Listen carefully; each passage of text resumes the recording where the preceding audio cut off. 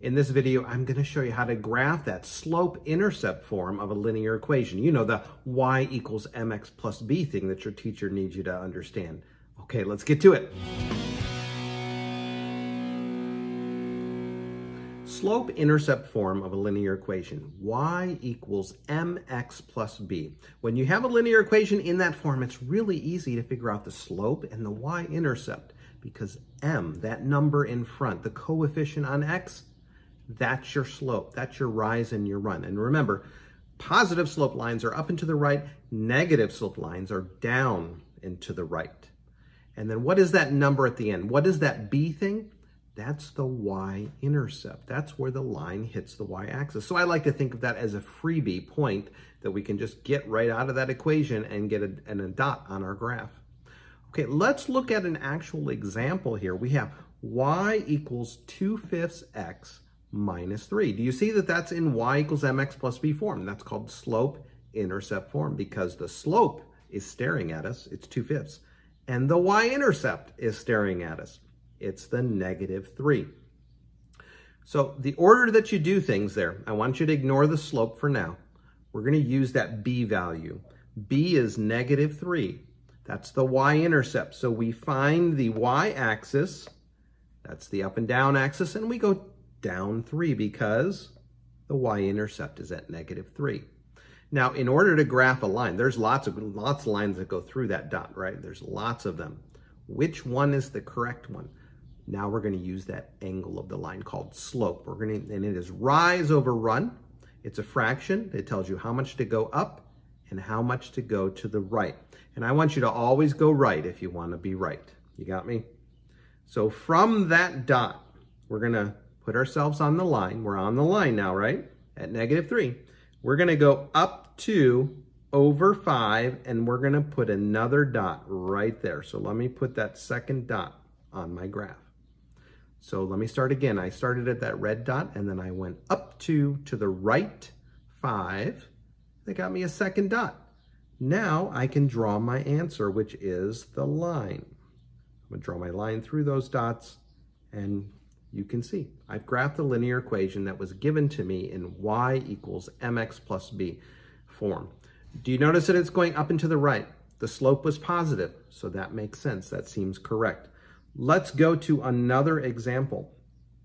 y equals 1 third x plus 1.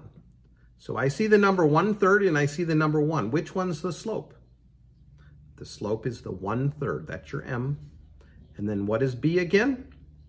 B is the number one, positive one. Which way do we go? Do we go up one and put a dot, or do we go to the right one and put a dot?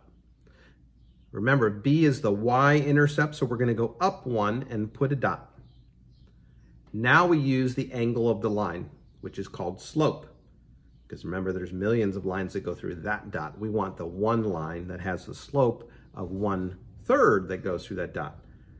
So keep in mind, we're always going to go to the right. So we go up one, rise over run, and then to the right, three. Up one over three gets us our second dot right there. Now we can keep going, by the way. We can go up one over three. See how I got another dot at that same ratio.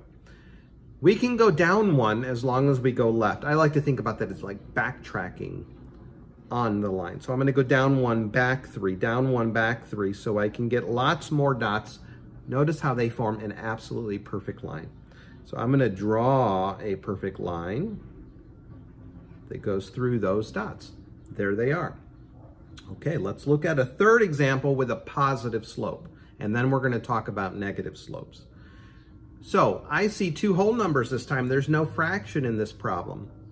So the slope is the coefficient on x. So which number is the slope? The slope is 4 here. m is 4. So that means the b is negative 5. b is your y-intercept.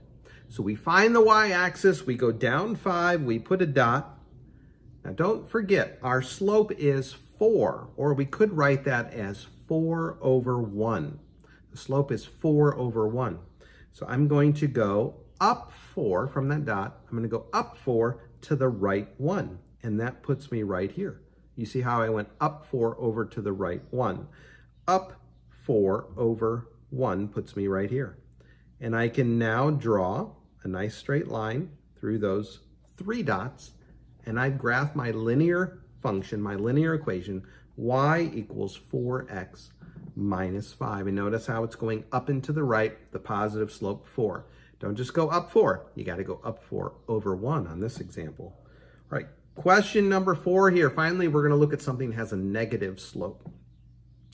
Once again, let's harvest out the information we need. The slope here is negative 2 thirds, and then the b value, that y-intercept, is positive 1.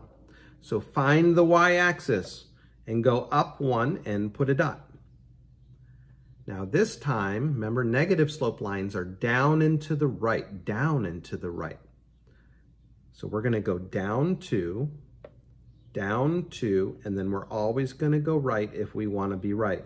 So this time my second dot is down and to the right, which would be right here, down and to the right. I could also go up two and I could go back three if I wanna get another dot that lines up. That way I can be sure to get a nice straight line. And there's my linear function. It does go on and on, by the way, so maybe I should be putting arrows on the end. So that's a negative slope line. Notice how it's downhill. It's down and to the right. Always do a little mental check before you move on to the next one. Speaking of, here's the next one. y equals negative 4 thirds x plus 5. So we want to graph this. It's a negative slope. So the y-intercept is 5. The slope is negative 4 thirds. Which number do we use first? The 5. We go up 5 and put a dot. Remember, I called that the freebie. It's like a free point they give you. Without any thought, you just go up 5, put a dot. Now the second dot, we have to be careful. This is a negative slope, so I need to go down 4 to the right 3. Remember, always go to the right if you want to be right. I know that's silly, but it helps, right? Down four over three. I've got three dots nicely lined up. I'm gonna go ahead and draw my line, put my arrows on the end. There's my linear function, y equals negative four thirds x plus five. I've got two more examples lined up for you. What's different here? Oh my goodness. I don't like to just do the same thing over and over, again because I know you're getting good at this, so we got to see some of the curveballs that can come at us. So what's wrong with this? It's not in the right form, is it? It's not in y equals mx plus b form. So we have an algebra toolbox, and we can move things across the equal sign. We can add and subtract things, multiply and divide. But in this case, I'm just going to add x on both sides. See how I'm doing this? And I get y equals x plus 3. All right, so I think you would agree the b value is 3 here. What's the m? I don't see a number there. Is it 0? No, of course not. It's 1. There's an invisible 1 there. And it's not even a bad idea to think about it as 1 over 1. That's not a bad idea because this has a slope of 1, which is like a 45 degree angle line on our graph here. I'm going to go up 3, put a dot. That's my freebie. That's my b value. And then from there, I'm going to go up 1 over 1. Up 1 over 1. See how that's 45 degrees? And there's my linear function y equals x plus 3. Now originally it was given to us as y minus x equals 3. That didn't make the slope negative. The slope is not negative 1 because we moved that x to the other side and we see this when it's in the proper form the slope was 1. Let's do one more problem sort of similar. I'm giving this to you in what's called standard form, standard form. So in this example, we're going to need to solve for y. So here we go. I'm going to move the 2x to the other side by subtracting it over there. 3y equals negative 2x plus 1. Now I need to divide everything by 3, even the 1. So we're going to divide by 3, divide by 3, and divide by 3. So y equals mx plus b. So this is certainly the hardest one we've looked at today. Our y-intercept is a fraction.